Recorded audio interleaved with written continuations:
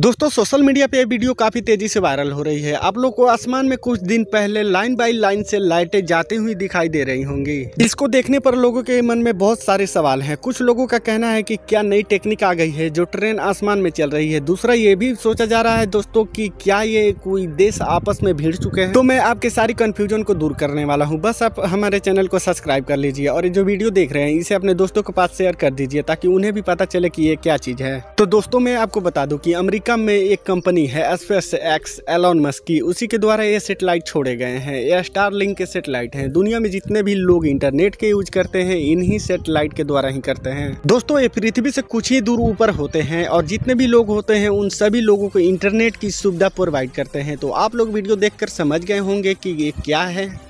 और जितने भी लोगों के मन में सवाल थे, दोस्तों, मैं आई होप करता हूँ कि उनका सवाल क्लियर हो चुका होगा। तो आप अगर नए हो तो हमारे चैनल को सब्सक्राइब कर लो बेलाइकन ऑल पे सेट कर दो, ताकि इस तरह का वीडियो आए तो उसका नोटिफिकेशन सबसे पहले आप लोग को